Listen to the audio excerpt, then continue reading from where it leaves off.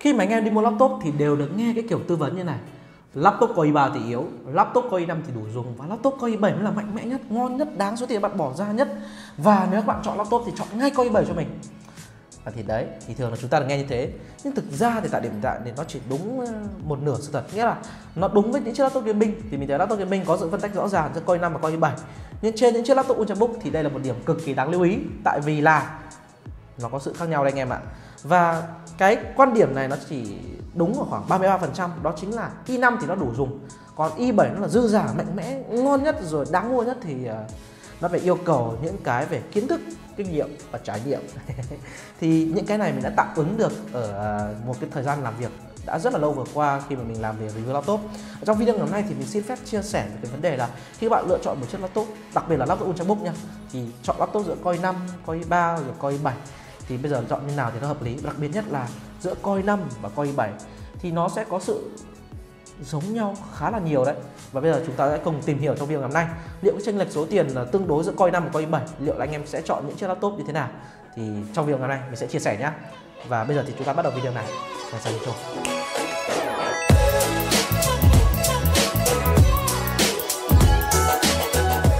Đầu tiên thì chúng ta sẽ nói về cái mức giá của hai cái sản phẩm i5 và i7 trên cùng một mẫu máy nhé.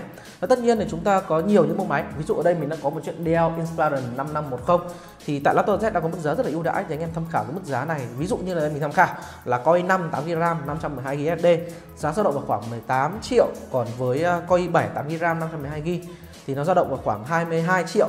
Đấy, thì anh em nâng RAM nữa thì sẽ mỗi con là cộng khoảng 800 thì nói chung là mới mức giá này thì mình nên mức giá rất là ưu đãi. Anh em tham khảo dưới phần mô tả nhé phải quảng cáo tí. Còn à, về cái mặt tranh lệch tiền thì có thể thấy rõ ràng ngay ở đây là chúng ta tranh được khoảng 2 đến 3 triệu đồng đấy thì cái mức giá chênh lệch 2 đến 3 triệu này thì nó sẽ thay đổi theo tùy cái thời điểm mà chúng ta à, mua hàng chúng ta xem video này thì cái thông số của hai CPU này sẽ là điểm anh em cần nên lưu tâm tại vì là hiệu năng thì tí nữa mình sẽ chia sẻ sau. Còn về thông số đó là cái cực kỳ quan trọng giữa hai cái CPU này. Thì đầu tiên là chúng ta sẽ nói về um, coi 5 và coi 7 trước. Coi 5 coi 7 thì mình sẽ lấy mã đây là i5 1130H và i7 1139H. Thực ra thì 39H với 370H thì mình thấy không khác nhau quá, có khác nhau một chút về số nhịp. Nhưng mà ví dụ thì cùng trên một mẫu máy đeo chẳng hạn thì à, đầu tiên số nhân số lùa đều có 4 nhân và 8 lùa đều có xung nhịp khá là ổn là 2,6 GHz đến 4,4 GHz cho i5 và 2,9 đến 5.0 cho là con coi i7 này. Xung nhịp có thể lấy là sự chênh lệch là tương đối rõ ràng. TDP của hai cái CPU này là 28W đến 35W tùy config của cái à, laptop các bạn à, sử dụng. Ví dụ như là mấy con Core i5 này thì mình thấy là mình có thể chạy được lên khoảng 35W là rất là dễ. Tiếp đến là L1, L2, L3 cách thì à, cái sự khác nhau ở đây sẽ nằm ở L3 cách, nghĩa là độ bộ nhớ đệm L3 thì bộ nhớ đệm L3 này nó là một trong những cái rất là quan trọng tại vì là nó cũng sẽ quyết định được một cái phần về tốc độ khi anh em trải nghiệm sử dụng những cái như là lướt web rồi chỉnh sửa ảnh những cái đấy mình sẽ nói sau nhé tiếp đến là về RAM để hỗ trợ RAM DDR4 Burst 3002 kiến trúc thì đều là Tiger Lake UP3 và tiến trình 10 nanomet. Và cái điểm khác biệt mà thường là những chiếc Coi 7 và Coi 5 hay khác biệt ở đây đó chính là Iris Xe Graphics ở i5 sẽ là 80 EU và Intel i7 sẽ là 96 EU thì cho anh em nào không biết EU này thì nghĩa là execution unit thì nghĩa là cái uh, cụm xử lý đồ họa đơn vị xử lý đồ họa thì đấy thì đây là cái sự khác nhau về thông số. Có thể thấy qua một chút, chúng ta sẽ thấy về xung nhịp, chúng ta sẽ thấy về L3 cách, và quan trọng nhất là iGPU tích hợp đi kèm cái CPU này. Vậy thì thử benchmark nhé. Tại vì benchmark là cái cho được cái ờ, gọi là cái cái cái con số cụ thể nhất, và cái này các bạn phân tách từ giữa coi 5 và coi 7 qua những cái tác vụ khác nhau chứ nó ờ, thực ra nói với mình nó chỉ là một những thông số tham khảo thôi. Ví dụ như là Cinebench R23 ở multicore và single core. Tất nhiên mà nói thì multicore nó có sự khác nhau rõ ràng và single core cũng vậy. Nhưng mà cái thông số mà mình check ra đây nó dao động khoảng 15 cho đến 20 phần trăm là hiệu năng. Nhưng mà bài Cinebench anh em hãy nhớ là đây là bài để render về kiểu là uh, video hình ảnh bằng 3D ví dụ như kiểu là anh em mà sử dụng uh, cái máy ultrabook là để kiểu render ra hình ảnh ấy mình thấy là không khuyến cao lắm nhưng mà nó sẽ sự chênh lệch ở đấy. À, hoặc là anh em nào mà kiểu là export ảnh Photoshop Lightroom ra thì nó cũng gần gần như thế. Còn với à, Passmark CPU của multicore và single core thì sự chênh lệch là không có. Thậm chí là Passmark CPU của multicore nó còn cao hơn. Cái bản Passmark này thì nó tập trung nhiều vào những cái à, xử lý tạp xử lý thuật toán của CPU nhiều. Thế nên mình thấy là nó không phải kiểu là tập trung vào render quá. Đây là một trong những bài test mà có thể tham khảo được. Tiếp đến là về Geekbench. Geekbench 5 và Geekbench à, 5 à, multicore và single core thì mình thấy đây là cái số điểm giữa cái bản là uh, coi 5 coi 7 này mình thấy là nó khá là rõ ràng.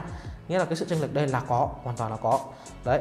Thì ờ, với tiếp tục là iGPU nữa thì iGPU anh em thể thấy rõ ngay là iGPU đây cũng có sự chênh lệch rõ ràng giữa cái phép tính toán khởi động 32 thì nói chung là giữa coi 5 coi 7 thì cái sự chênh lệch này là dao động vào khoảng 5 cho đến 10 15 phần trăm. À, đấy là theo con số benchmark nhưng mà thực ra con số cụ thể đây thì nó nó là con số. Còn thực tế sử dụng ở đây thì bây giờ mình sẽ chia sẻ luôn cho anh em.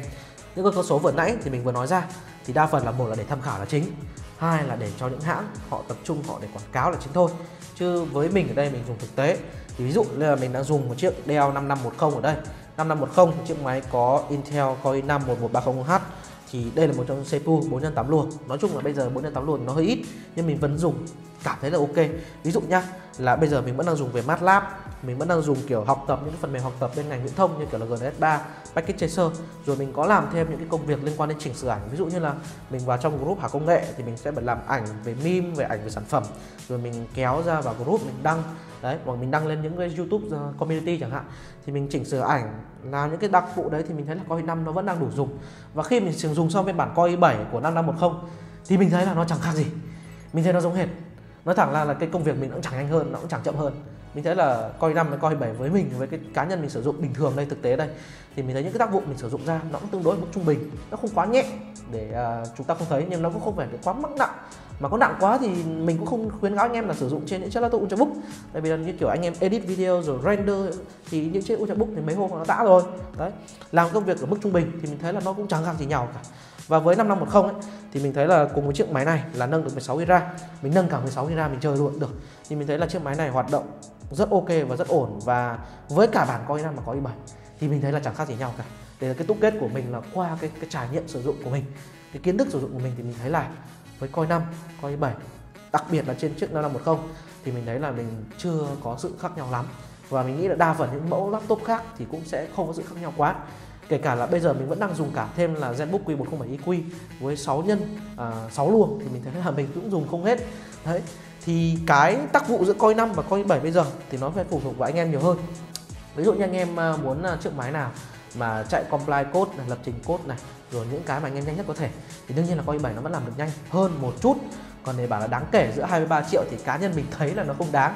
Còn đó là về cái trích tranh lệch giữa cái việc là làm việc.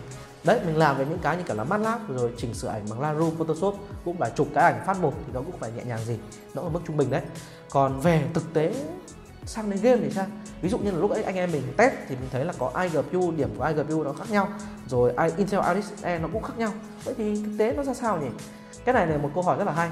Thì mình đã đi uh, tham khảo là chính chứ không mình cũng đã chưa chơi tại vì là sao? À, chưa chơi tại vì là mình uh, lười nhưng mà nói chung là với RTX Graphics thì 80 đến 96 EU thì có những cái tựa game, ví dụ như kiểu là Cyberpunk 2077 thì nó chênh nhau khoảng 2 đến 3 FPS ở 720p low setting. Rồi The Witcher 3 nó chỉ chênh khoảng 2 đến 3 đến 4 5 FPS thôi. Nghĩa là sự chênh lệch giữa cái cả đồ họa của hai chiếc máy này cùng tích hợp là nó không khác nhau quá. Nói chung nó sẽ tập trung phù hợp với anh em nào làm về cái mảng gọi là edit video để tận dụng được iGPU là chính thôi, hoặc anh em vẽ AutoCAD. Chứ nói thật là để nói là chơi game nó khác nhau thì mình nghĩ là nó không khác nhau đâu.